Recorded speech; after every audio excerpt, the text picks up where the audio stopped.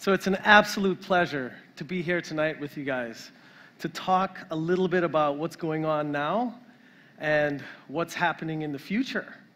But to really think about the future, you have to think about what innovation means, what technology means for us as a society, as a humanity. We have to reflect on what progress looks like. And when you think about it, as a species, we started innovating from the moment we were us, right? We, we started to develop tools, and with those tools, we developed fire, right? And if you think about the tenets of innovation, it's things that help us uh, to help in the convenience of our lives, it's to help us do more, it's to help us be able to expand beyond the limitations of our human anatomy, right? So fire let us cook food and use it more efficiently and provided warmth in our lives. You know, if you think about the wheel, we were able to carry heavier loads than we would. Uh, we were able to go farther distances by exerting less energy than what we're anatomically, sorry, uh, anatomically capable of doing, right? Electricity then came in. We can light, we can have light so we can read, we can have light so we can work and be more productive for longer hours. And then, when you look at this timeline, it's hundreds of thousands of years ago we, we cultivated fire, right? And then the wheel, similar kind of time frame. And then electricity is in the hundreds, right? It's uh, uh, uh, not very long ago. And if you think about the computer, which allowed us to capture knowledge and then access that knowledge uh, uh, at our own will uh, and do more, that was very recent, relatively speaking, to when we discovered fire. And then the phone. We have data centers worth of computing, mainframes worth of computing multiple times over in a little device that carries energy with itself in our pocket. And so innovation happens faster and faster, and it's enhancing our ability to do more in the world and do more with uh, uh, uh, ourselves. And so we, we envision well, what does the next key major innovation look like, right? Uh, and, you know, this is a scene from a movie, uh, it's called Her, right? And, you know, we often uh, romanticize the future and then realize it. We have this tendency to realize the future as we imagine. And this is a future that was imagined very recently. Uh, and in the same pace of picking up steam and creating our imaginations, you guys are all aware that we're, we're in a, a time and a place where conversational AI and virtual assistants is, is something that's present in our lives and being cultivated and worked on. Uh, and, you know, right now you might think that they're kind of silly, uh, but it is our imagination, and we will get there. And one important question is why now, right? Why is conversational AI a thing now? Well, I would argue that when we think of intelligence, when we think of AI, we think of the fundamental sociological and anthropological meaning of intelligence with us before we even had fire, right? When you think of intelligence, you think of your neighbor who has some special intelligence on how to build that, that tool, right? That fork or that, that spear. And then you go to them and you interact with naturally evolved means, conversation. Hey, you build the best spears. Like, how do you do that? I want to learn more, right? And, and that's something that we want to manifest so that we can do more. And we imagined it in the 60s. This is a scene from Star Trek. And we're realizing it today. Well, why is it happening now? Why is it going to happen now? Well, I'll make an argument. And it's, it's, it, it manifests itself in recent Turing Award winners. In just the last few years, if you think about three key pillars that's making it possible today, we have the three Turing Awards of recent that have won the, essentially the Nobel Prize for computer science. Uh, and that's Alan Turing uh, on this slide.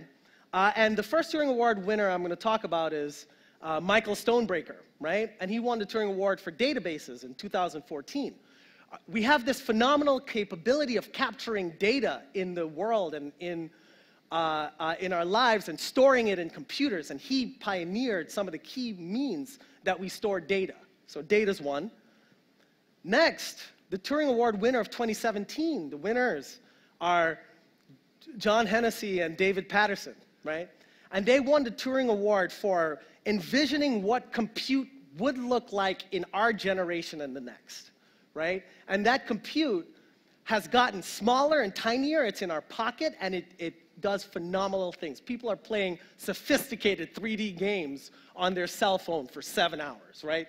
The kinds of innovations that came from John and David allowed us to do more with compute, data and compute. And lastly, just recently, 2018, man, it seems like yesterday, but it's already 2020. Uh, Geoffrey Hinton is one of the key winners of the innovations as it relates to models and models that are used to capture data and make them useful for inference, right? Machine learning.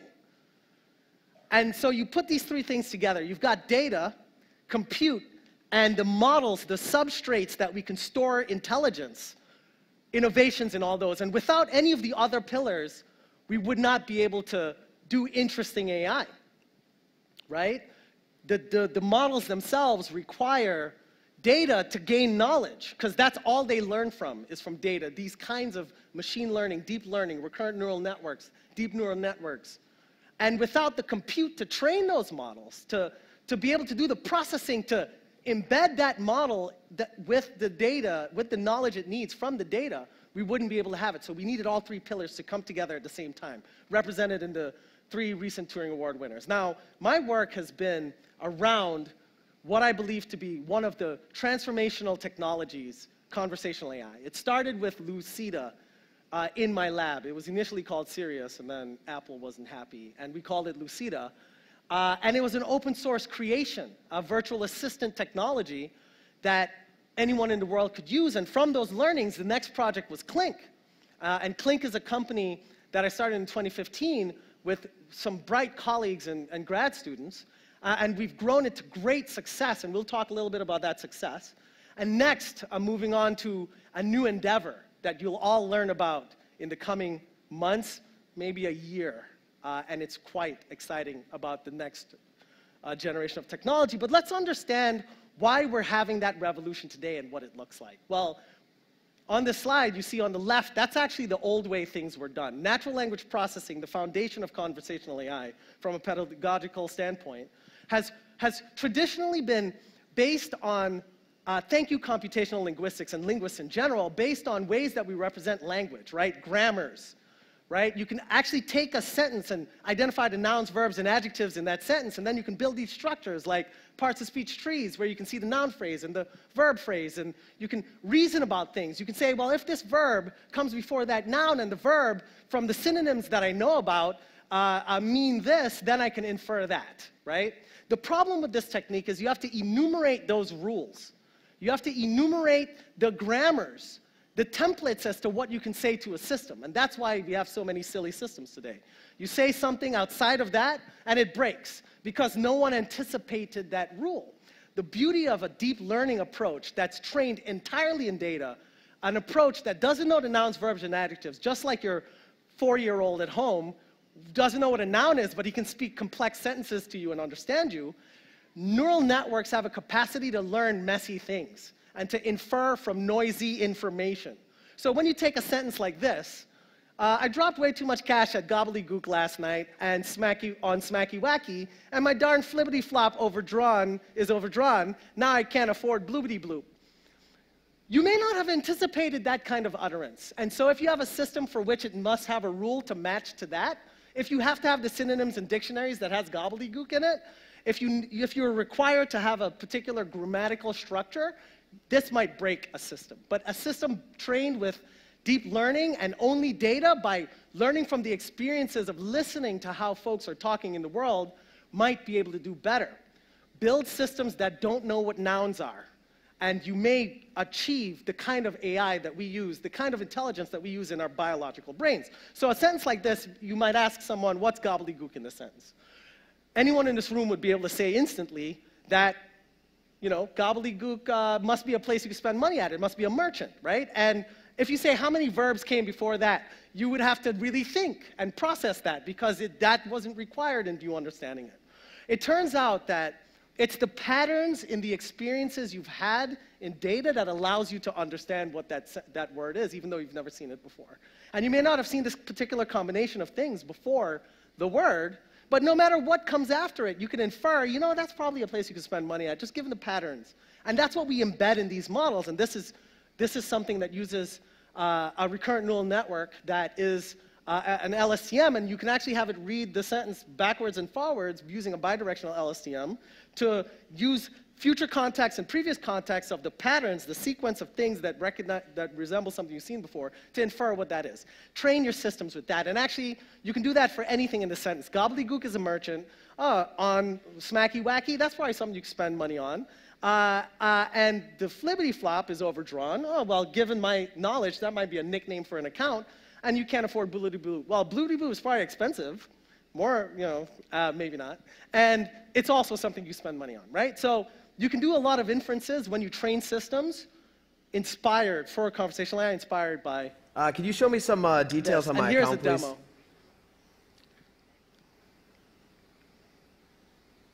Here is your account information. Your account balance is $9,766.77 and you have $5,125.64 outstanding on your statement balance, which needs to be paid before Tuesday, October 8, 2019. The minimum amount you can pay the account is $50. Cool. Let me make a payment for the minimum amount, please.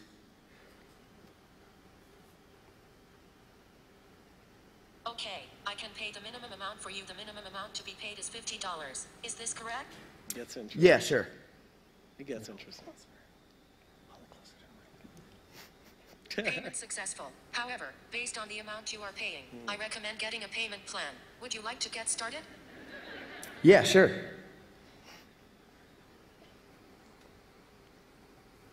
Please provide the transaction you would like a payment plan for. Uh, let's do it for that uh, Delta flight where I went to California to visit my brother. That was, uh, that was pretty pricey.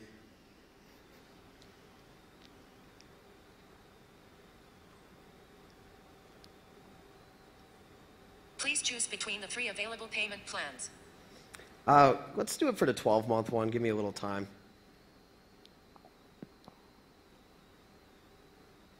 Okay, I have your 12 month payment plan at $104.64 month for your 1,235.56 transaction at Delta. Would you like to confirm this payment plan?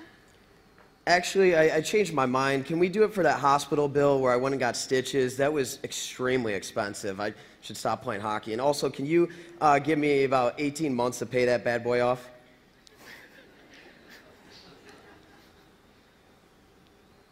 Okay, I have your 18 month payment plan at $113.02 month for your 1987 transaction at St. Joseph's Hospital. Would you Right. like to confirm this payment plan? Yes, please. Yeah. So, so y- that is the level of human expectation that we would want conversational AI to understand. And so we can realize that there are other open problems.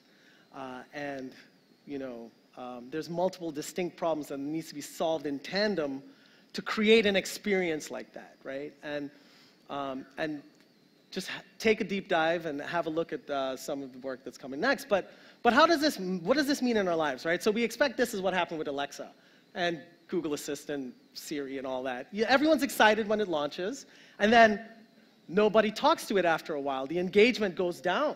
Everyone bought it, and now no one talks about it. Well, what we saw when we launched a system based on that kind of technology to 6 million users is month after month after month, engagement goes up. If you can trust these things to understand you, you will want to engage with it and get the value of convenience in your life and improving your capabilities live. Now, 4 million out of 6.5 million people are interacting with it regularly. And this is in native Turkish in Turkey. It turns out that when you just train with data, it doesn't matter what language it's trained in. It's agnostic to language. It learns like a four-year-old. Uh, and what was even more impressive is people, the average user of those 4 million use it more and more over time. It's creating value for their lives they're returning to. That's the goal, right? And what I would argue, and I think that what is required for real innovation is you want to aspire to something, not just be better than something, right? It turns out that I think Google, Amazon, and Apple are competing with each other. Not interesting. not interesting, right? Because you can go from something poopy to something a little less poopy, right? Uh, and that's not interesting. Aspire for human in the room level understanding. Challenge the work you do to be work where you can interact with it freely without having an instruction manual as to what you can say to it.